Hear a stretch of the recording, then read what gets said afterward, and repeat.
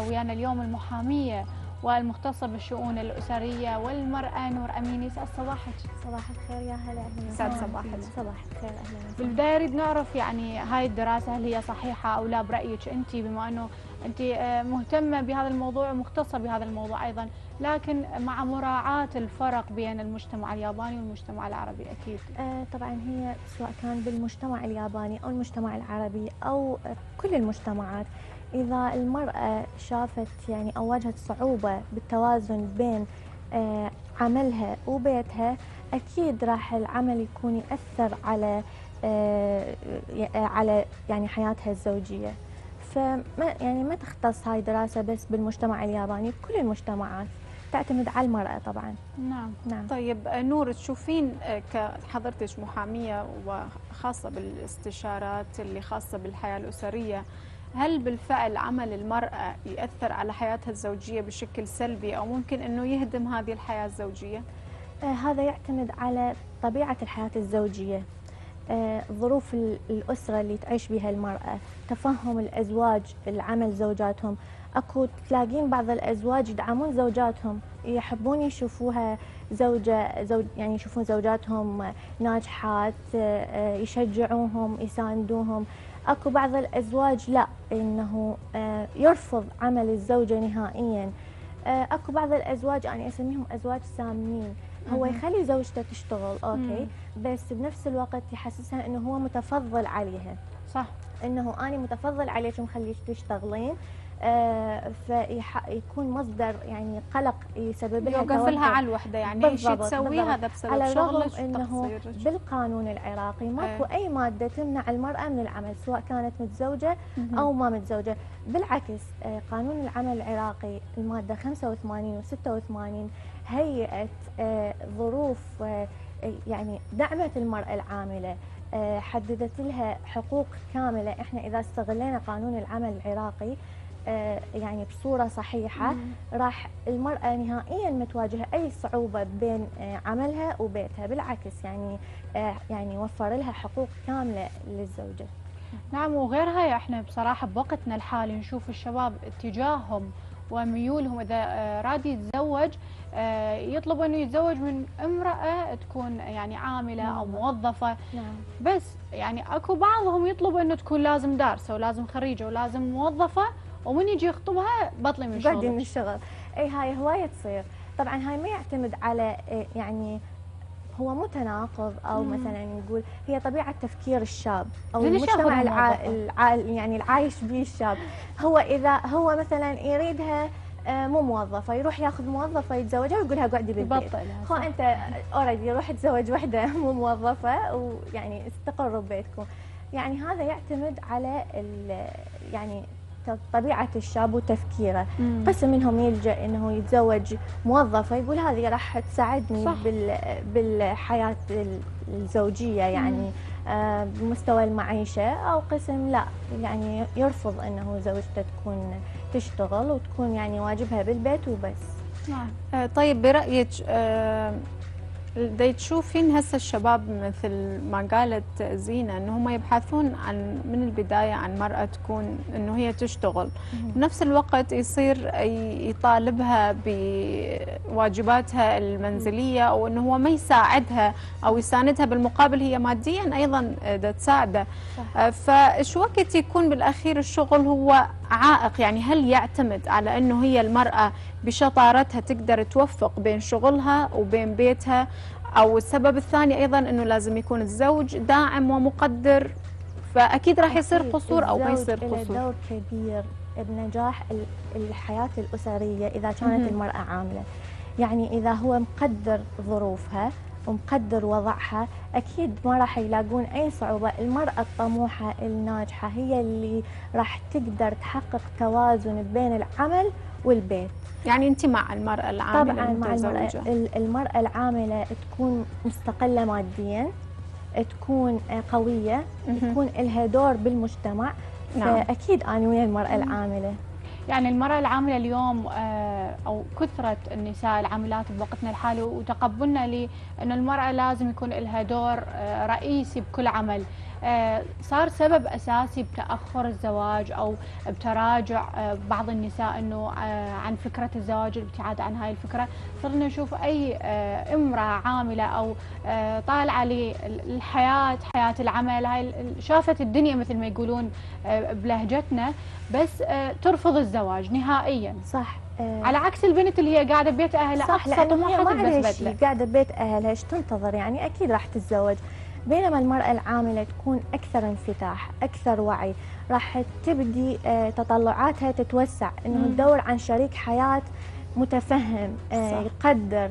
فهذا آه، يعني بصعوبة تلقى هيك نموذج يعني مو دائما انه متوفر هيك نوع من آه، من الرجال فراح يسبب في تأخر الزواج مم. مثلا هي بنيه تقول اني أشتغل وعندي آه، يعني فلوس ودا أصرف على نفسي وأطلع وعندي حرية ليش اني أرتبط بشخص راح يقيدني كل انتقاء دقيق وصحيح يقيدني ما مجبورة. يعني آه، يقلل من دوري بالمجتمع مم. فبالتالي راح نشوف أكو تأخر طيب نور بالنسبة للسيدات المتزوجات واشتغلت بعد ما تزوجت يعني ما أخذها من البداية تشتغل. من بعد فترة لما تشتغل ووضعها المادي يستقر تشوفين شخصيتها تغيرت وبدت تقوى وبدت خلينا نقول تتذمر وبدت الأشياء اللي كانت قبل متقبلتها صارت ما تتقبلها. وهنا راح تبدأ الشرارة اللي تشعل مشاكل بينها وبين آه، زوجها. طبعا مو الكل.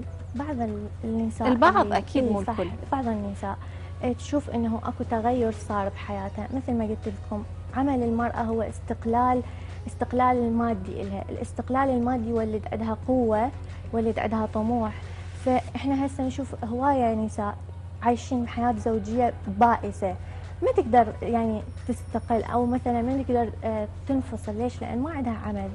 فتضطر تعيش بهاي الظروف الصعبة. لأنه ما ما ما عندها معين ما عندها مثلا أهلها يعني شالوا إيدهم من عندها مثل ما نقول بعد الزواج.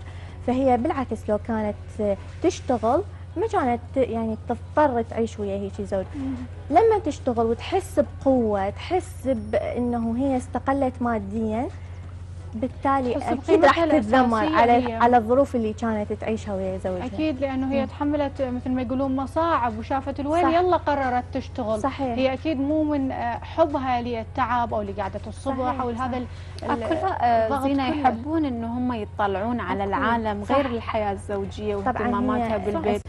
فالاطلاع مرات هم يسبب صح مشكلة. صح يعني مثل الشوك يصير صدمة عندها ما متعودة على شيء فجأة شافت أجواء غير الانغلاق اللي كانت به فتبدأ تتذمر على الصغيرة والكبيرة. صح. تبدي إنه تتمرد على الواقع اللي هي عايشته فراح تسبب مشاكل. ودور الرجل ذكرت بالبداية إنه هو أساسي جدا بانه المرأة تقدر توازن بين العمل ويعني بين حياتها الزوجية، لكن إحنا آه، رغم إنه دور الرجل مهم دور المرأة بأنه هي توازن أو النصيحة أو الطريقة اللي ممكن تتبعها حتى تقدر توازن بين عملها وبين حياتها الزوجية وما تخسر آه، يعني واحدة من عندهم. لأنه اللي تركز بحياتها الزوجية لازم تترك عملها. ماكو واحدة بينا تقدر توازن بشكل مستمر وبشكل دائم. صحيح إلا ما ندر المرأة لما تكون طموحة راح تقدر. نعم. بعض النساء يعني هم يشتغلون مو بحاجة مثلا آه، مال أو مم. بحاجه هي تكون عندها طموح تريد استقلالية يكون يعني. لها دور بالمجتمع تريد آه، تطور عائلتها تطور حياتها هيك نوع من النساء ما راح تواجه أي صعوبة ما راح تفقد التوازن بين بالنسبة للأطفال في حال كان أطفال ما يكون أكو في تقصير يعني بحق أطفالها أو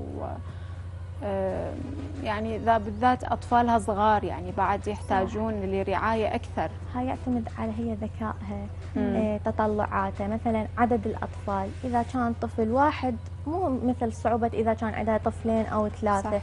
بالتالي إحنا ما نريد نجيب للمجتمع أطفال مريضين نفسيا. صح. آه، أهلهم يعني كله بالعمل ملتهين وعايفيهم صح؟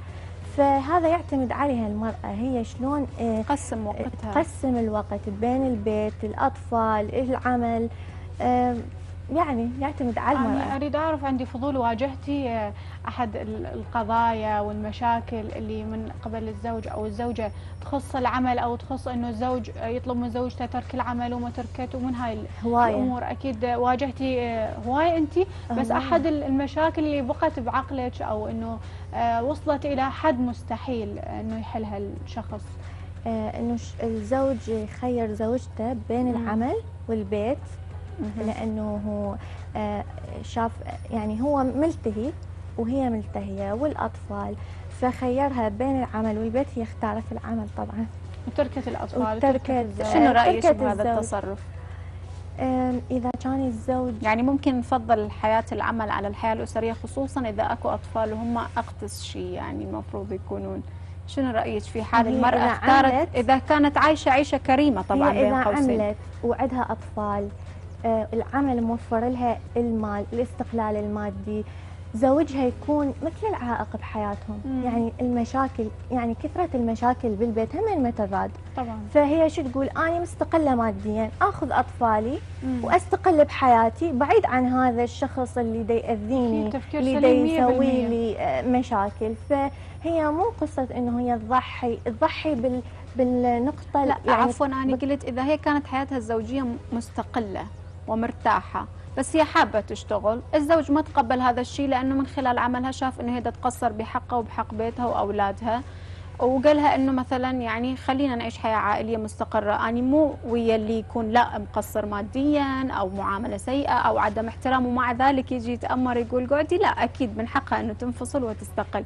بس أكون شاهد أيضا نساء إحنا أنا أحب أتناول الجانب السلبي والإيجابي. نعم. عايشين حياة مستقلة. أزواجهم زينين وياهم ماديا ما مقصرين وياهم بس هي تقول لك أنا أريد أشوف دنيا أريد أطلع أريد أشتغل. آه، فبالأخير تختار العمل على الحياة الزوجية وأنا أشوف أغلبهم يندمون إذا كانت مست... مرتاحة ويا زوجها سابقا يعني. صحيح صحيح. بس أقول لكم على شيء أغلب النساء اللي تواجه هاي يعني تكون بين هاي الخيارين تختار العمل على الزواج. ما تندم بعدين؟ ما أعرف هذا الشيء يعتمد عليه زينه بالزواج ما راح توصل لنقطة نهاية. لا لا. أكو يحبون يحبون هم يحبون يكون عندهم حياة يعني يعني. استقلالية خلاص تقول لك أنا دا أشتغل ومرتاحة وحياتي هاي ما أحتاج الرجال إحنا حتى هم ليش يعني نعم. الرجال يعني عفوا ليش الرجال يتخوفون من المرأة العاملة المرأة العاملة من تستقل ماديا تصير أقوى. تكون أقوى فبالتالي راح يكون عنده تخوف يريد دائما المرأة إيه، الضعيفه اللي بالضبط هو يعني هاي طبيعة. الرجل التسلط يعني هو يريد يفرض يعني حضوره طبيعة. وسيطرته صح طبيعة الرجل صحيح، القليل منهم هي اللي. تأثر هي اللي. يعني تتحكم بتصرفاته وإحنا أكيد مثل ما قلت لك ما نحب نوصل لهاي النقطة أو كل نسائنا والرجال يوصلون لنقطة نهاية. صح. آه، أو نقطة آه، تعيسة يسموها اللي هي الأطفال يتشتتون ال- العائلة تتشتت. نصيحة أخيرة نسمعها من عندك لكل الناس اللي تتابعنا ولكل النساء العاملات ولكل الرجال اللي نسائهم عاملات. آه بالنسبة للنساء أقول لهم اشتغلوا. أوكي؟ أنا ويا عمل المرأة. لأنه عمل المرأة ينطيها آه، قوة آه، تتحدى الظروف تتحدى أي آه، مشاكل تواجهها بداخل البيت حاولوا تحققون توازن بين العمل والبيت والأسرة وتهتمون بأسرتكم وأطفالكم بالدرجة الأولى آه، حتى إذا كان على حساب العمل لأنه البيت والأطفال هم بالمرتبة الأولى نعم. صحيح إحنا كلش. نشكرك نشكر وجودك ويانا أكيد تسلمي نورتينا. واسعدتينا بهاي المعلومات. المهمة اللي قدمتيها تسلمين شكرا نورتينا. اليوم شكرا نتمنى لك نهار. سعيد